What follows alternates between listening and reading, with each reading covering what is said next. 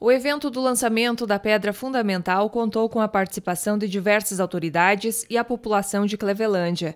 De acordo com a assessoria de imprensa, o fórum será construído num imóvel localizado na rua 7 de setembro, ao lado da Clínica Municipal de Fisioterapia. A obra terá 1.500 metros quadrados. Deve começar ainda em 2022, obedecendo os trâmites legais. Atualmente, a população é atendida em um prédio que foi inaugurado em 1953 e já não atende mais a demanda do Poder Judiciário da comarca de Clevelândia. Após a edificação ser desocupada, será destinada para as repartições públicas do município.